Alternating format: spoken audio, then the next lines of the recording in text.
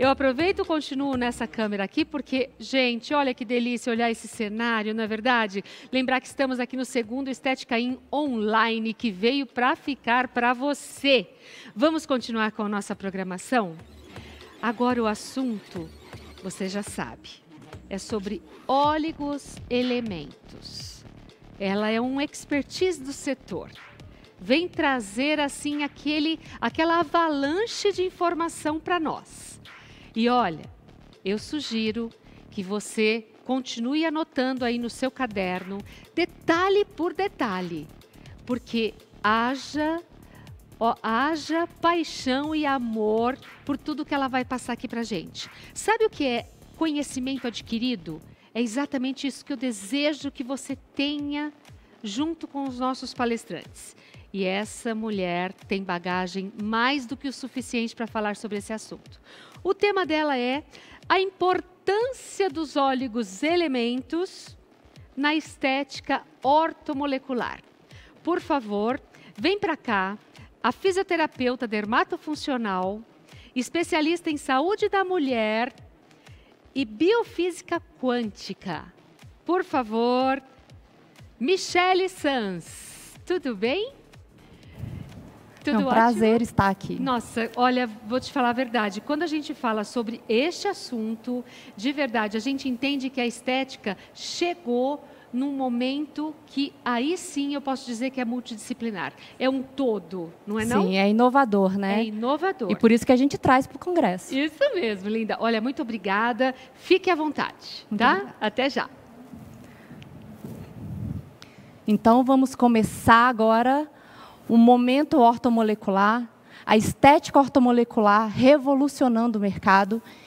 E eu trouxe para vocês falar sobre oligoelementos e falar sobre ortomolecular na estética. Então, muitas profissionais já trabalham com ortomolecular, mas elas não têm tanta noção que já trabalham com ortomolecular. O que é ortomolecular? É devolver o equilíbrio. Olha aí a separação da palavra. Orto vem de correção e molecular vem de moléculas. Então, quando a gente une os dois, vamos devolver o equilíbrio ao nosso paciente.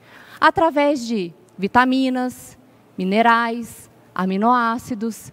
E esse conjunto vai gerar ali a antioxidação do organismo. Porque as disfunções estéticas, elas são causadas pela oxidação e envelhecimento do organismo. Quando a gente começa a pensar em minerais, a gente tem que pensar o seguinte: eles são adquiridos através da alimentação. Mas hoje nós temos aí uma depressão do solo. Aquela castanha do Pará que a sua bisavó comia, não é a mesma castanha do Pará que você come hoje. A quantidade de selênio, que é um mineral super importante, super antioxidante, não é o mesmo.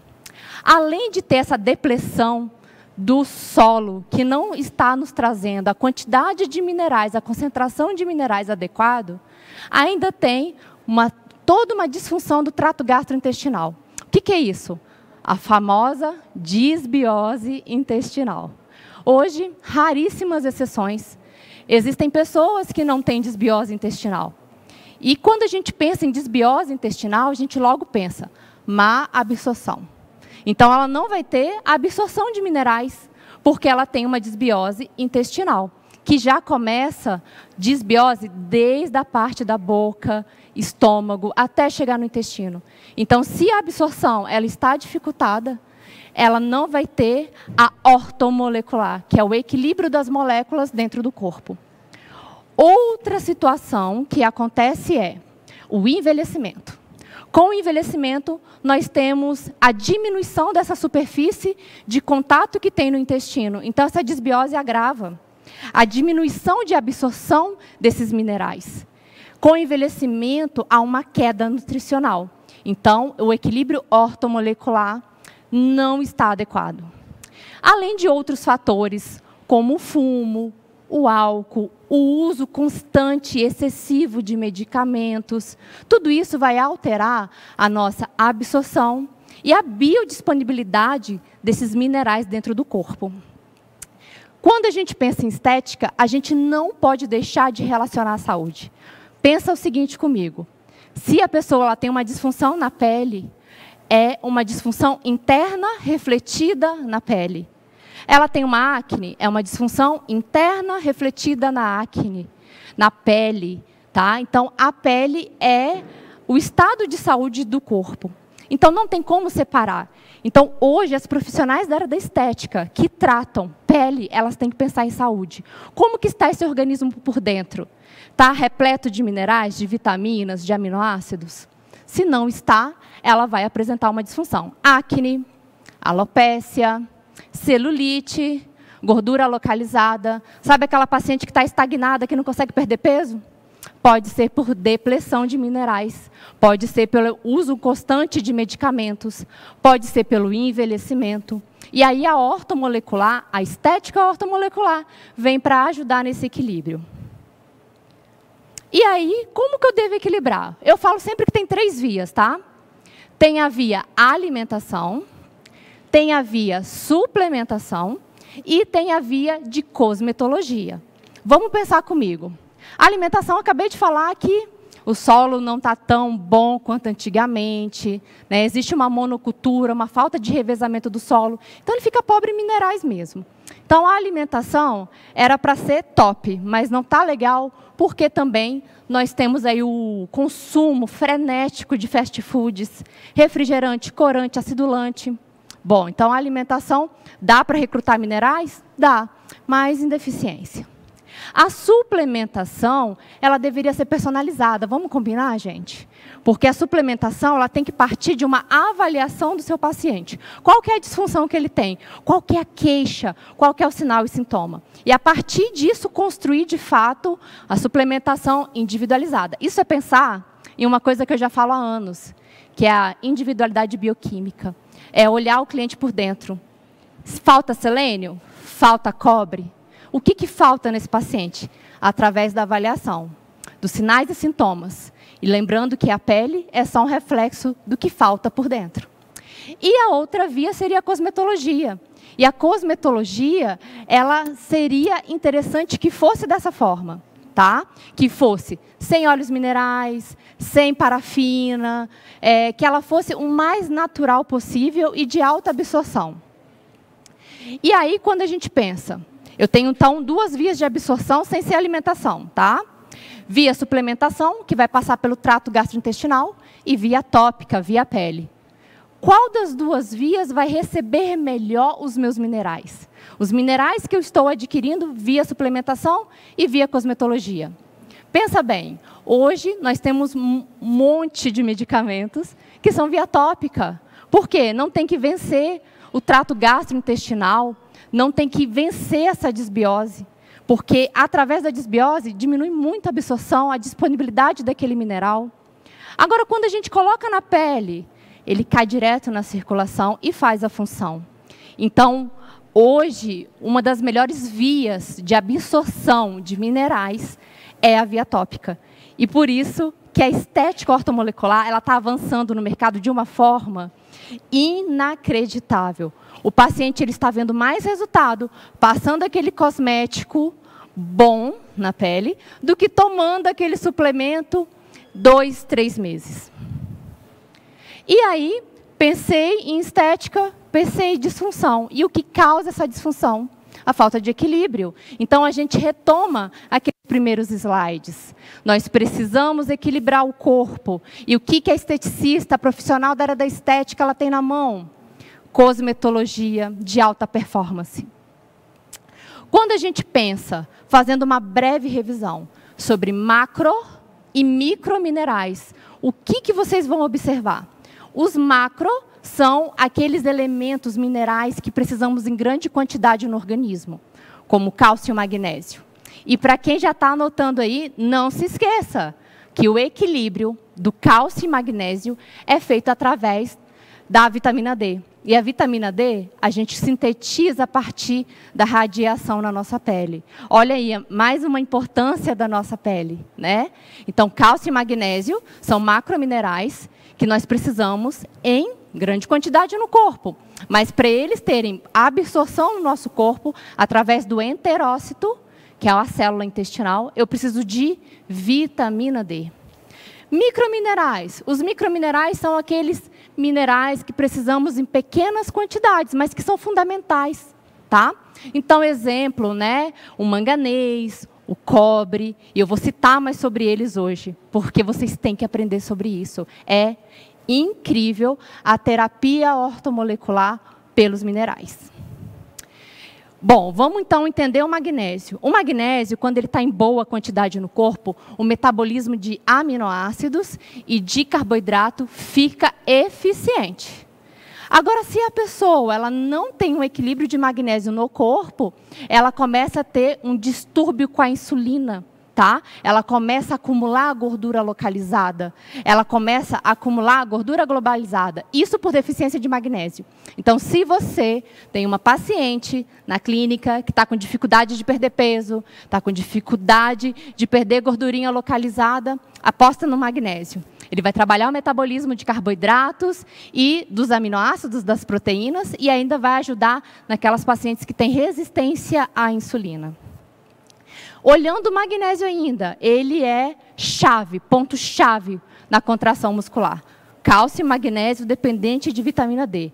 Ponto-chave na contração muscular. Então você pensa, contração muscular, flacidez muscular. Sim, toda vez que tiver uma paciente que veio fazer um treinamento ali para ganhar tônus, ganhar força muscular, uma diástase reto abdominal, você pode usar, após a corrente russa, magnésio. E se a pessoa ela não tem uma quantidade de magnésio adequada, o que, que acontece? Constipação, câimbras musculares. Então, você pode aproveitar essa paciente que veio tratar uma disfunção de flacidez muscular, aproveitar se ela tiver constipação e fazer uma massagem intestinal no abdômen dela, né? Com magnésio.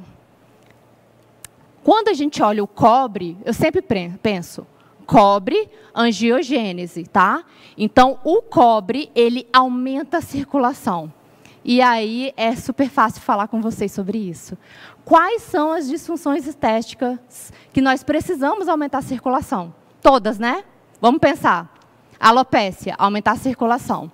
Celulite, aumentar a circulação. Região de rugas, estrias, aumentar a circulação. Então, eu devo sim inserir o cobre durante a terapia estética, prática estética ortomolecular, fazer aí a junção com o cobre.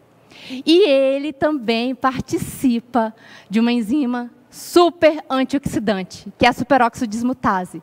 Sem o cobre, a superóxido ela não tem muita ação no organismo. E se eu penso em antioxidante, o que vem na minha cabeça na hora? Rugas, flacidez tissular e estrias. Então, todo tratamento que for para estímulo de colágeno, aumento de circulação, vocês devem entrar com cobre. Inclusive, né, após o microagulhamento, ou durante uma massagem, ou até para o uso home care, o paciente fazer o uso em casa. E se eu não tiver cobre, o que, que o meu organismo apresenta de disfunção estética?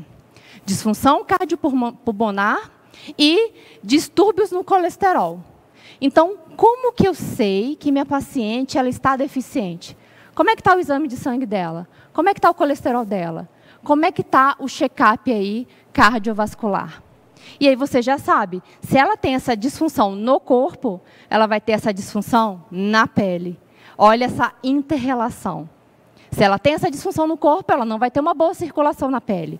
Aí você vai passar um cosmético que seja hiperemiante e você não vai observar hiperemia. Porque ela tem uma disfunção orgânica refletida na pele. Mais um pouquinho do cobre. Olha como ele é fantástico. Ele faz parte da enzima que sintetiza, que faça com que o colágeno enovele, que, com que aconteça a tripla hélice. Então, sem cobre, você não consegue tratar a flacidez. Então, a minha dica é, toda vez que tiver um equipamento que vai estimular o colágeno, acabou esse equipamento? Coloca cobre. Ele vai estar estimulando mais ainda a síntese, a produção de colágeno. E se eu não tiver cobre, o que, que pode acontecer? Má cicatrização, uma pigmentação desgovernada ali naquele local. E aí a gente logo pensa, pós-operatório. Será que eu poderia usar o cobre, então, no pré-operatório? Deve, deve usar. Você vai facilitar a cicatrização e a pigmentação daquela cirurgia, por exemplo, de Abdominoplastia, tá? Então, o cobre, ele tem os seus benefícios e ele também aí, pelos benefícios, vocês conseguem já imaginar as deficiências dele. E o zinco? Vamos observar que nesse slide eu coloquei aí três fotos sequenciais, para que vocês entendam. O zinco, ele faz mais de 300 reações químicas no organismo. E sem reação química não tem metabolismo, tá, gente? Metabolismo dos órgãos, metabolismo das células. A biodisponibilidade do zinco, ela é baixa no nosso organismo, tá? Então a gente pode colocar o zinco quelado, o zinco em forma de cosmecêutico na pele. Quais as áreas mais afetadas pela falta de zinco? Bom, cabelo. Então, quem está anotando aí as dicas, pensa o seguinte: a pessoa ela tem alopécia, que é a perda capilar, por deficiência de zinco, tá? Então, toda vez que for fazer, exemplo, um microagulhamento, passa o zinco depois. Ou você pode orientar o seu paciente. Todo dia que você for lavar o cabelo, antes do banho, você passa o sérum zinco no seu couro cabeludo deixa ali em torno de cinco minutos e depois você lava. Isso é fantástico para quem está trabalhando né, com o home care. Para quem não está atendendo no momento na clínica, mas está focando no home care. Você pode enviar todo o tratamento para o seu paciente personalizado através desses minerais. Você avalia online e envia para a casa dele o tratamento personalizado. Então, essa é a estética aí do futuro que já acontece em algumas clínicas, né, que atendem à distância. Então, o paciente está perdendo cabelo, vai enviar para ele o, o sérum zinco, porque vai inibir a queda capilar, a alopécia. Ah, mas, Michele, o meu paciente também tem constipação, desbiose intestinal, aquela alternância entre diarreia e constipação. Você pode pedir, após o banho, para sua paciente massagear a região do abdômen total, tá? Por quê? O sérum zinco, ele faz com que o corpo, ele sintetize e melhore as contrações. E vai melhorar ali, no caso, a desbiose, que pode estar sendo, sendo causada por um mau funcionamento intestinal, uma falta de contratilidade intestinal. E, se você quiser um efeito mais geral, por exemplo, o zinco trabalha imunidade. Então, a minha dica seria passar no pulso. E ele vai circular por todo o corpo. Então, duas, três vezes por dia, passar um cosmecêutico com zinco no pulso, para melhorar a imunidade do corpo geral. E nós já sabemos que o zinco, ele estimula o timo. E o timo produz os linfócitos T. Então, aquela paciente sua que vive com IT, sinusite, otite, rinite, você pode enviar o zinco para casa dela e ela passar na região do timo para ter o hiperestímulo, melhorar o estímulo daquele local em relação à imunidade. Então, alopécia, passa antes do banho, de lavar o cabelo. Constipação, desbiose, passa aí durante, depois do banho, tá? E imunidade durante o dia. Três vezes ao dia, passa na região do pulso, pode também passar na região do timo. Isso é a terapia ortomolecular através dos oligoelementos. Bom, então, a dica é, toda vez que você observar na anamnese, né, na ficha de avaliação, que o paciente está em deficiência de algum mineral, você tem opções de locais para depositar aquele mineral, tá? Então, nós estamos falando aqui de cosmecêuticos. Quais são os locais que a gente pode depositar o cosmecêutico para ter mais ação? Primeiro, no órgão atingido, tá? Então, eu falei aí da insulina, qual que seria o órgão atingido? Pâncreas, então ela vai massagear aquele elemento na região do pâncreas. Ah, mas ela está com a desbiose intestinal, ela pode manipular, é, manusear aquele elemento na região do abdômen. Então, você pode aplicar em cima do órgão deficitário, você pode aplicar no pulso, para uma ação mais geral, e você pode aplicar também na disfunção estética. Se eu sei que o zinco causa desbiose, constipação, mas também causa alopécia, eu posso estar utilizando em duas áreas ao mesmo tempo.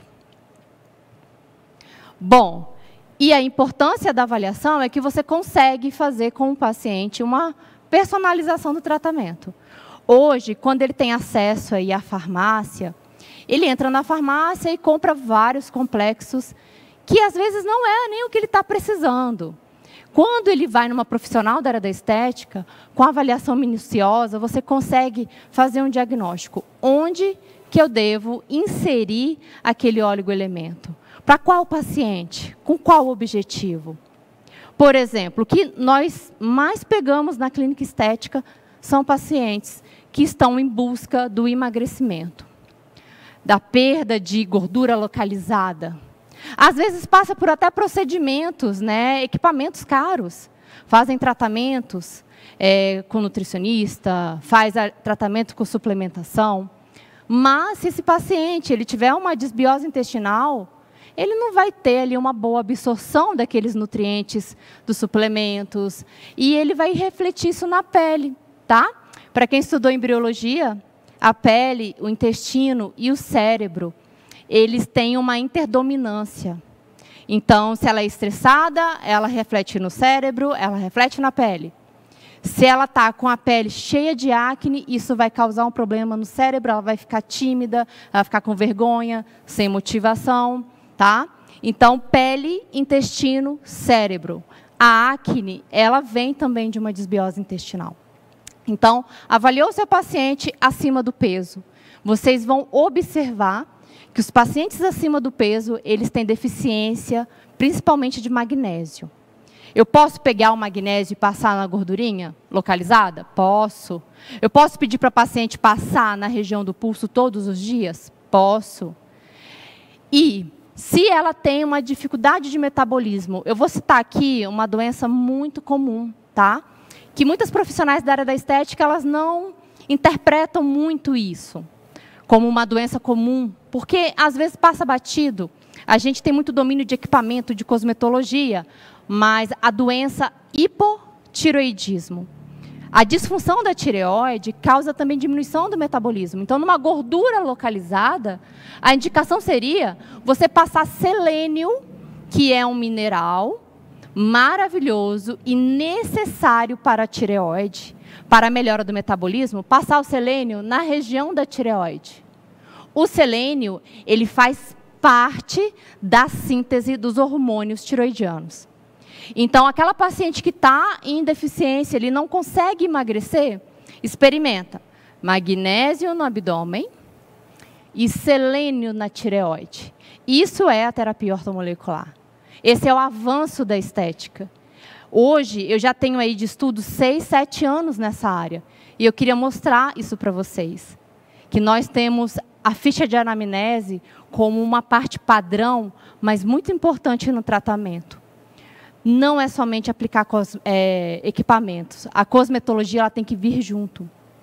Eu sempre falo uma frase né, que eu copiei de um grande mestre, Dr. Bussadi. Ele fala o seguinte: Celulite e gordura localizada são tecidos mal nutridos e mal oxigenados. Então, o que, que eu preciso? Oxigenar e nutrir. Ok, eu tenho equipamento, o equipamento vai oxigenar. Mas equipamento não nutre o tecido. Existe equipamento que deposita magnésio na pele?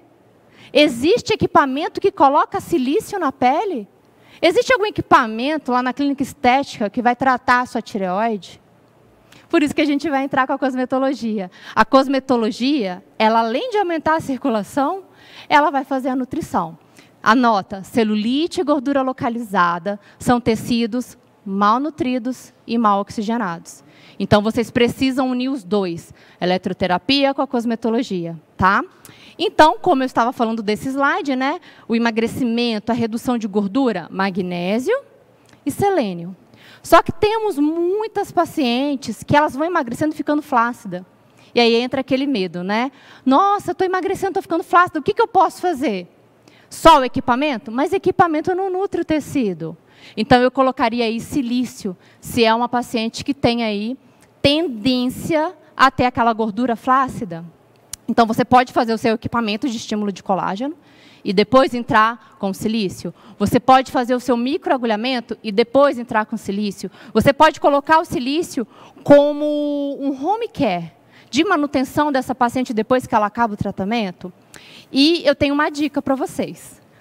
Todas as vezes que vocês utilizam silício junto com qualquer produto, ele tem a possibilidade de penetrar, de fazer a absorção daquele produto muito maior.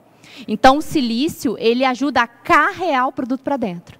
Então, por que não fazer silício, magnésio, silício selênio, silício cobre? Você vai estar aumentando a absorção. Isso é chamado de silanóis, é uma tecnologia. Silício faz composição do nosso corpo, composição da nossa pele. Então há necessidade de colocar ele.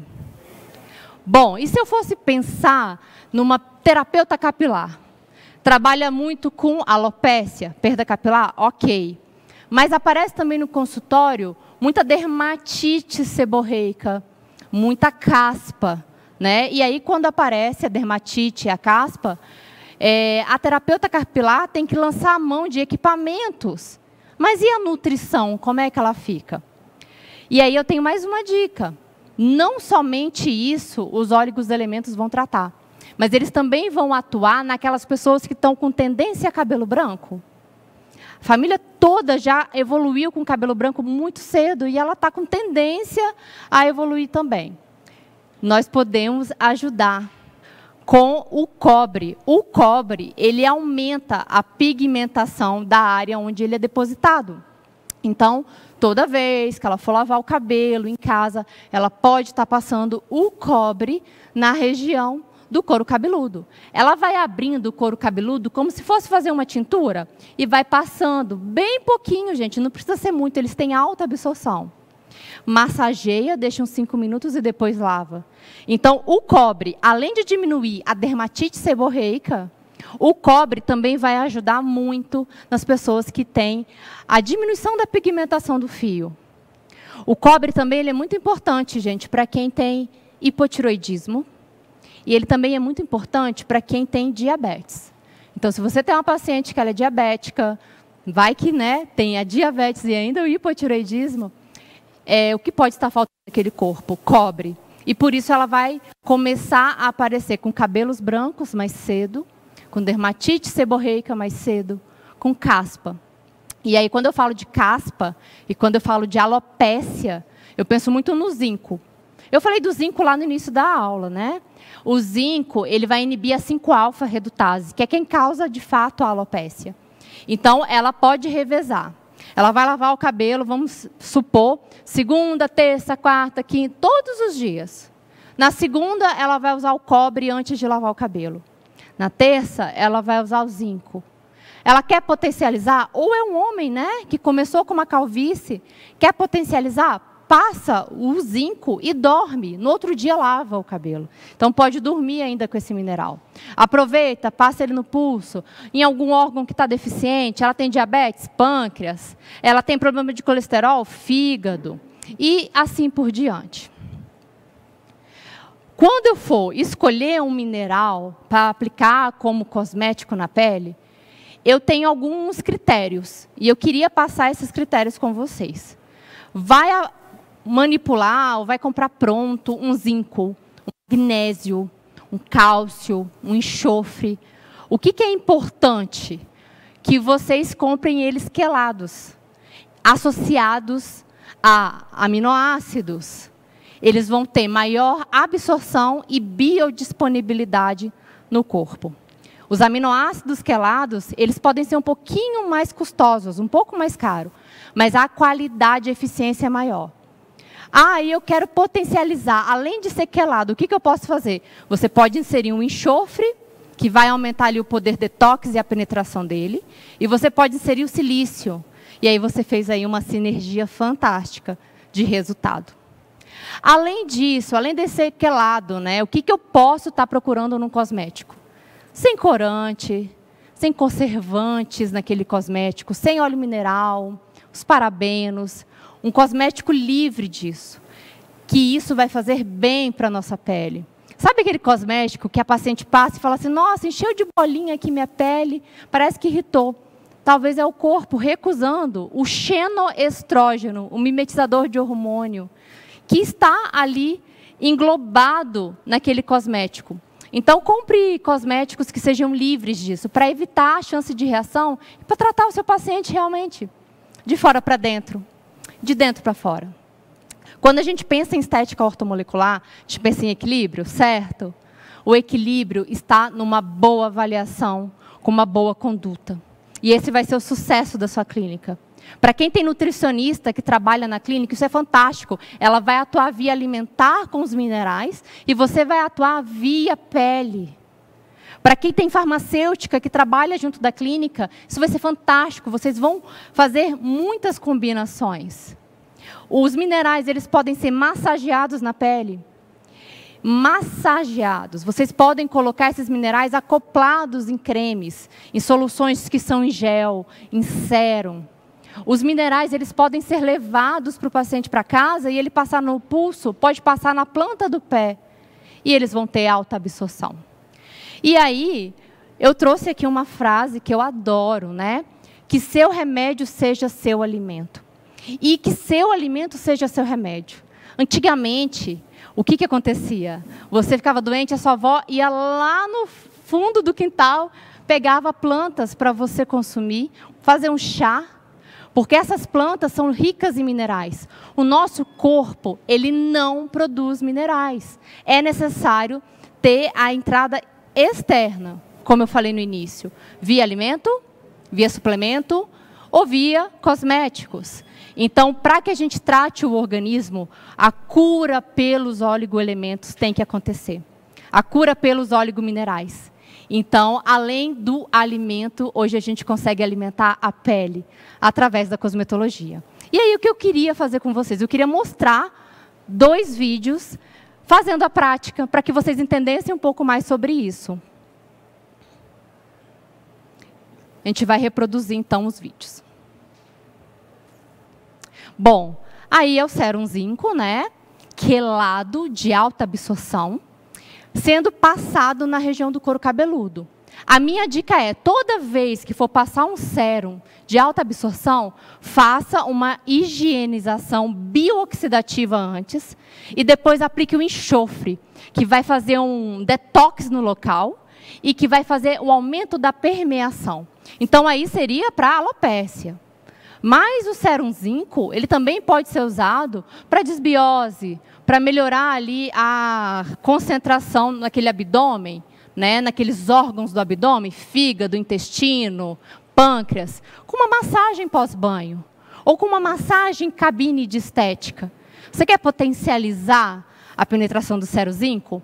Você pode passar ele também na região de pulso três vezes por dia. Então, estou exemplificando para vocês como que o paciente pode atuar em casa, mas também como ele pode atuar na.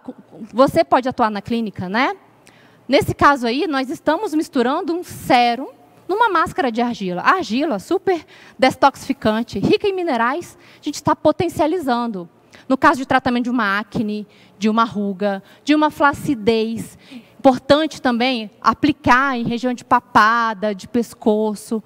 O resultado é fantástico. É remoção da argila e o paciente já sentia a diferença. E aí ele pode aproveitar e pegar esse sérum e levar para casa. Então ele faz o tratamento com o sérum na clínica e faz o tratamento em casa. O magnésio e o cobre, eles vão melhorar a circulação. Lembra que eu falei que o magnésio eu penso em circulação, tá? O cobre eu penso em circulação.